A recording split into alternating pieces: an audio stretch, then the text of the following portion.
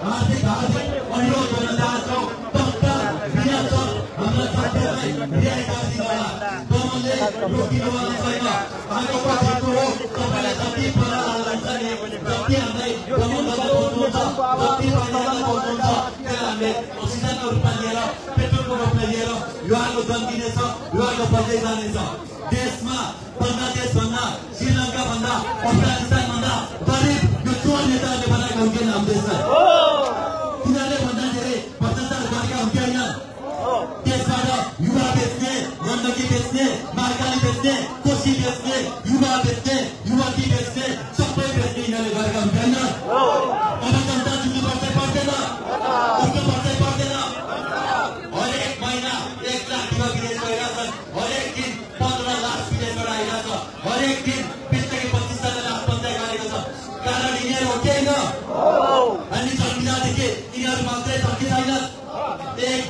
मात्रै हामीले यो ढिला मात्रै हामीले भेट्न सकेनौँ भने अर्को वर्ष अहिलेभन्दा दस लाख हुनेछन् अहिलेभन्दा अर्को वर्ष डेढ लाख युवाले ज्यान गुमाउनेछन् होइन हजारौँ युवाहरूले आत्महत्या गर्न बाध्य हुनेछन् आज तपाईँले हेर्नुभएको छ कतिजना सरकारी पीडित छन् सरकारी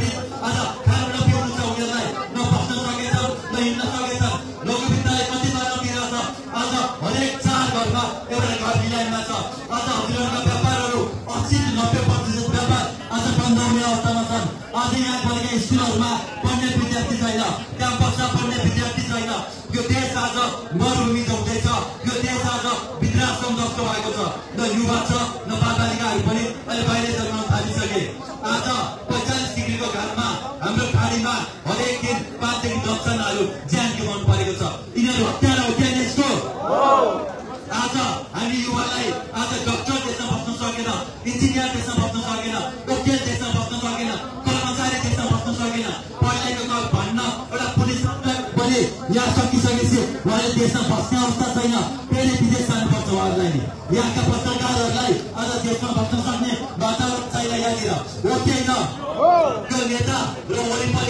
व्यापारी दुईवटा व्यापारी बाहेक यो देशमा कोही खुसी छ कोही भाँच्न पाएको छ कोही हाँस्न पाएको छ कति जेल रुने कति जेल सहने एउटा छुदा हुन्छ नि सहरको पनि होइन अति भयो होइन होइन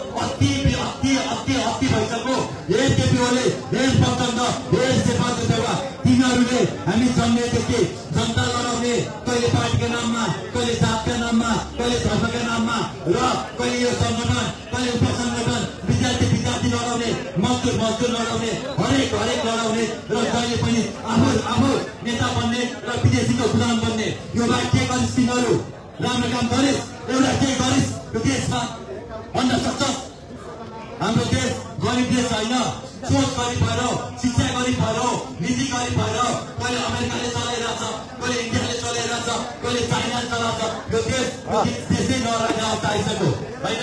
हाम्रो शिक्षा विदेशीको गुलाम भन्ने शिक्षा छ। होइन? हाम्रो स्वास्थ्य आज अस्पतालमा गयो भने एक वर्षसम्म अपरेसनको पाला आउँदैन। बिरामी उपचारको लागि बेड पाउन पर्यो भने होइन? एउटा सोधपुछ लागि बेड पाइँदैन। जनता तिमीहरू कतिन्जेल सहन्छौ कतिन्जेल हेरेर बस्छौ जबसम्म नलाभ पर्दैन तबसम्म यो समस्या समस्या होइन जस्तो लाग्छ। देशको के समस्या हो आज कसैको छोरा कसैको लास गाँसको भाग नआयो होला भोलि तपाईँको छोराको आउन सक्छ भोलि तपाईँको छोरीको आज कसैले पैसा नभएर उपचार मार्न भोलि तपाईँ सक्छ। होइन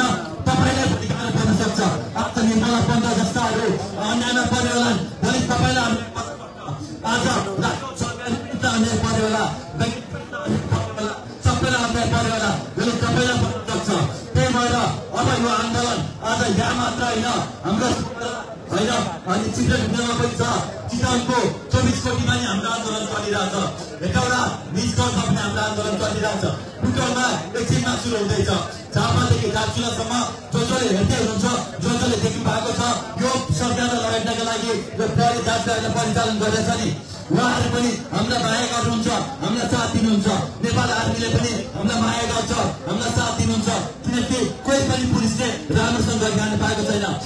कोही पनि सेनाहरूले राम्रोसँग देशमा गरिरहनु पाएको छैन हामी आज दस दुई चार हजार भइनला तर अब दुई चार दिन हप्ताभित्रै यहाँ हामी एक दुई लाख युवाहरू एक दुई लाख नागरिकहरू आउनुहुनेछ त्यसपछि पुलिसहरूले पनि ल जानुहोस् ब्याङ्केट खुल्ला छ लाग्नुहोस् भनेर उहाँहरूले आफै पठाउनुहुन्छ हाम्रा अस्ति पनि। बिआरसिसी भेट्दै गर्दाखेरि बालेश्वरमा उहाँको अस्ति थोरै थिए। अलिकति धेरै भएर हाम्रो हिजो सिडिओसँग नि भेट भएको छ। अहिले सबैजना भेट भएको छ। उहाँहरू पनि वाक्क दिक्क ट्याक्क हुनुभएको छ। हामी मात्र होइन। यो आज तपाईँहरू पनि यो देशमा स्यालेरी सेक्युरिटी होस् गरिकन काम भन्न चाहनुहुन्छ भने इन्जिनियरहरू तपाईँहरू यो देशमा भ्रष्टाचार नगरिकन नठगिकन नलुटिकन यो देशमा अगाडि बढ्न चाहनुहुन्छ भने किसानहरू तपाईँहरू आफ्नो उत्पादनको ग्यारेन्टी सरकारले गरिदियो बिउ मल बिरुवा सरकारले पुर्याइदियो भन्ने चाहनुहुन्छ भने सरकारी पीडितहरू तपाईँको सहकारी सरकारले जिम्मा गरेर सरकारले भनौँ न जिम्मा लिएको सरकारबाट आधिकारिकता पाएको संस्थामा गएर हालेको पैसा खाइदिएर सरकार जिम्मेवारी हुनुपर्छ पर्दैन।